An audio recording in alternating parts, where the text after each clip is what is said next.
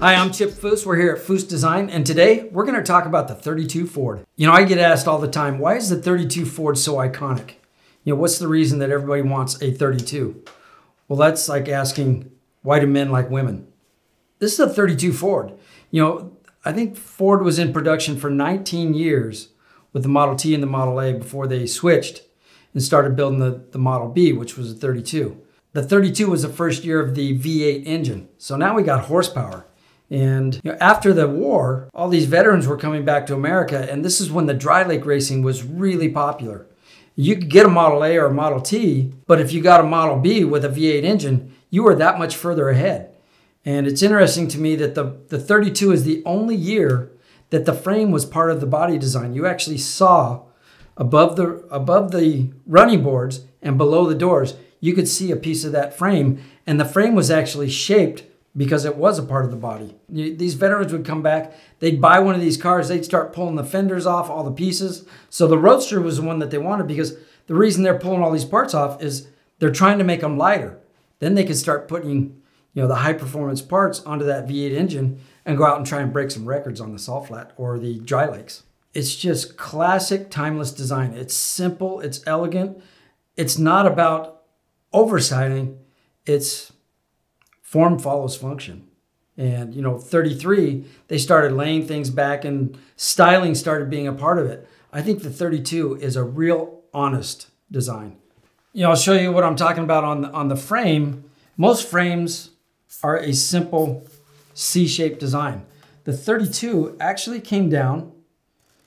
It had a little bit of a roll to it, and then it had a body bead like this.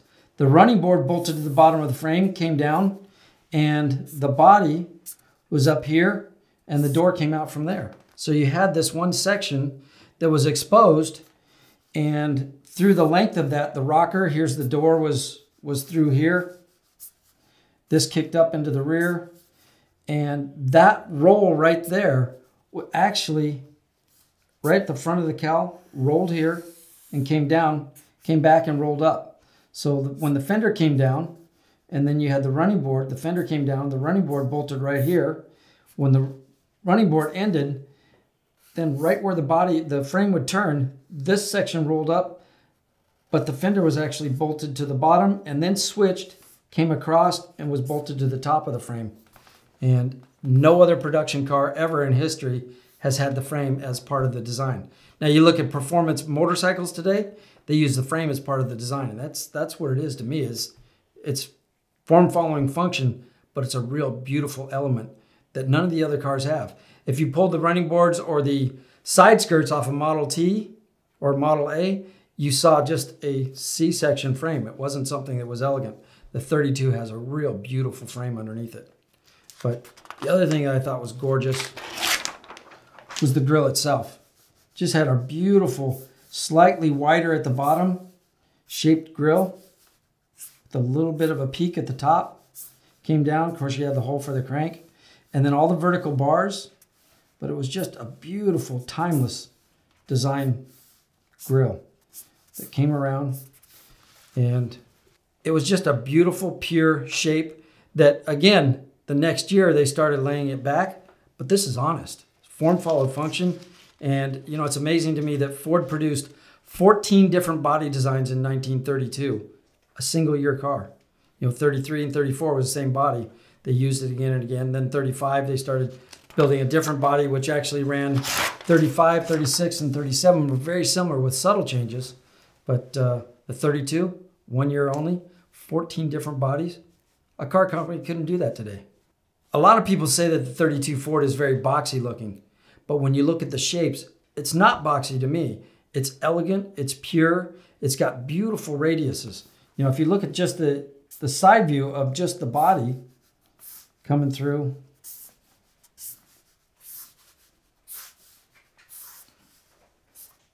beautiful little elegant design work in the reveals on the car.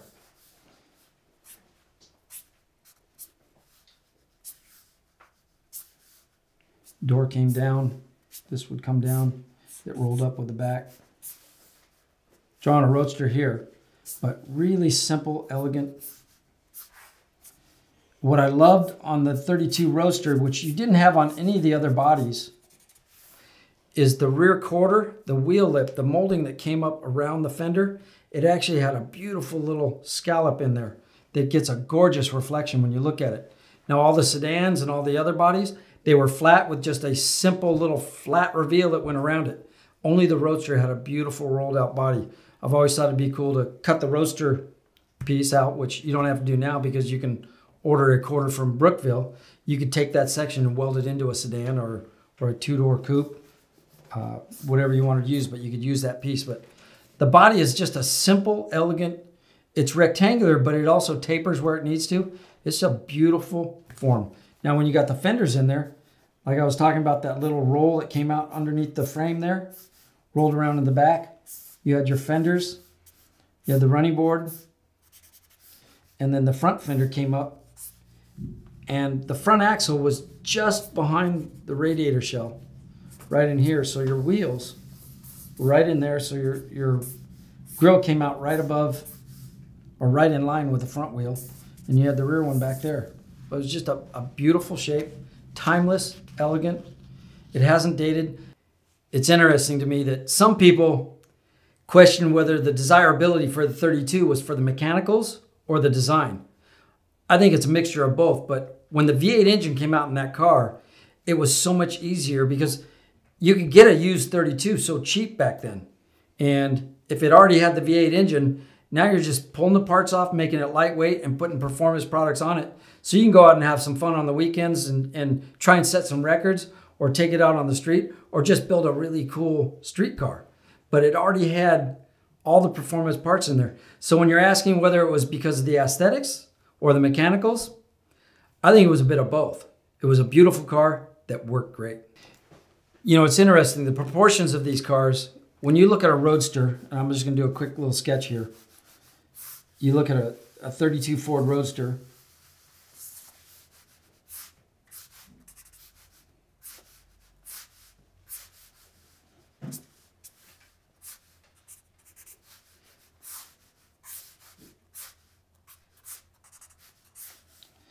it's got a little tiny short door on it. And when you look at that, I'm going to pull this around. The doors always look really stubby to me. Now, the three window has a real long door, but the five window seems to have just the perfect proportion. I'll do a sketch of a three window next to it.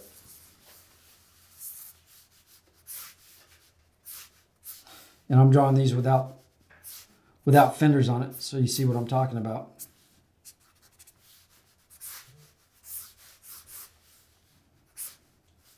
The three window had a rolled door in the front, came back, had it had a beautiful proportion.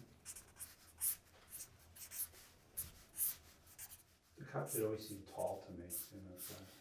Well, of course, I've drawn it chopped, but when you saw the three window, the door was much longer than the, than the Roadster. Now the five window,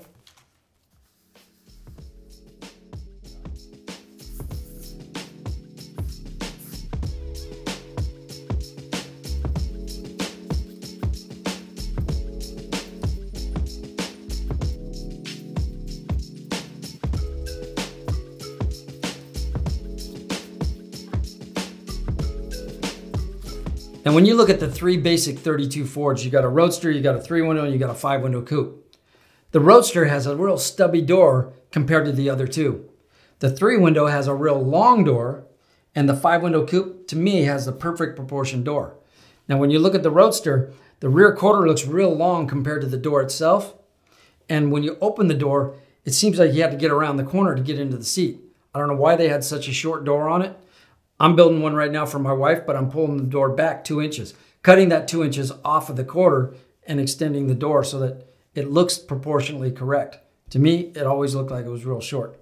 I love the three window, but it's a real long door. To me, the five window with the little window behind the door, it just all works.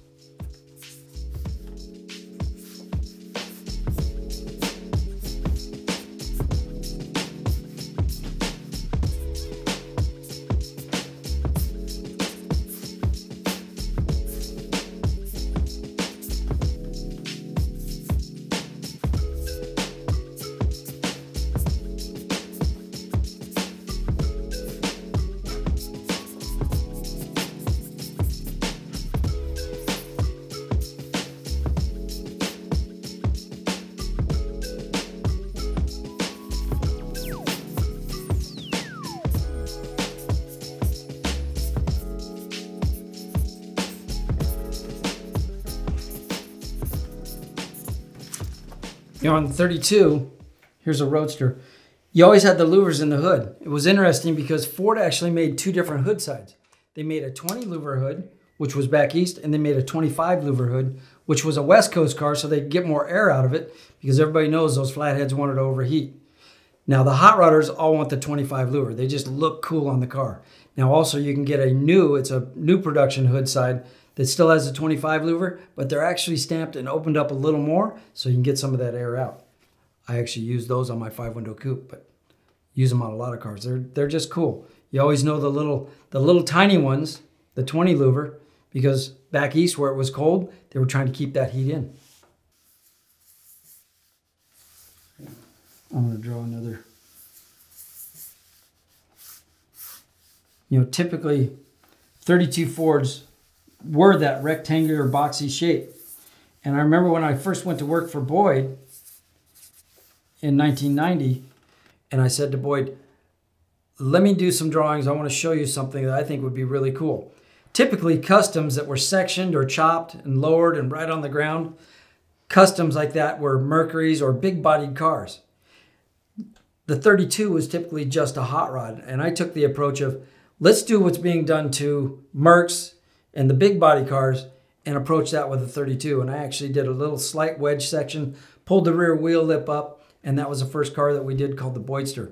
Soon after that, there were many uh, fiberglass bodied uh, manufacturers that were doing copies of that car and also doing it in the 34s and 33s.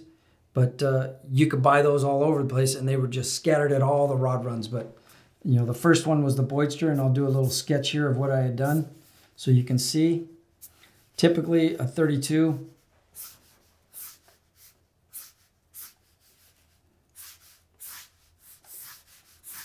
was this way. Had the short door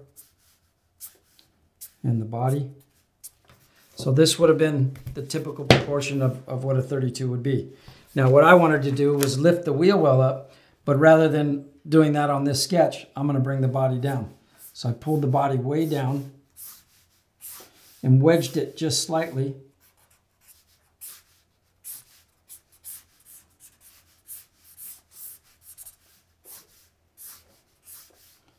built a longer frame. We actually stretched the car out a little bit, but uh, for this proportion, I'm just going to show you from where it was to where it is.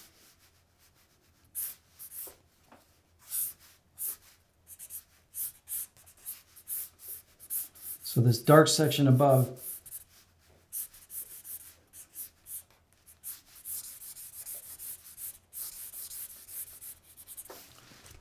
This dark section is showing you where a typical 32 would be. And there is where we took it down to. So that was the first one that was done that way, called the Boydster. Then we did the Boydster 2, which was full fendered. Then we did a 34 that was that way. And from there, it just went on and on and on. And uh, when people say that everything's been done to the 32, you hear it all the time. That's not true. I've got some other ideas of things that I want to build. I'm actually collecting the parts for a car that I want to build, stretching it out, and making it look more like a uh, classic era, uh, almost a brass era car, but much longer. Instead of a stock 106 inch wheelbase, I'm building one that's going to be 134 inch wheelbase and it's going to look much like a Duesenberg. So the question in the beginning was, why is the 32 Ford the quintessential hot rod? Well, we've been playing with it for 80 years and we haven't come up with all the things that we can do with it. You can hot rod it, you can restore it, you can customize it. It's endless. I have ideas that I haven't seen yet. I know other people have ideas. So it's whatever you want to do. You get to personalize it and make it your own car.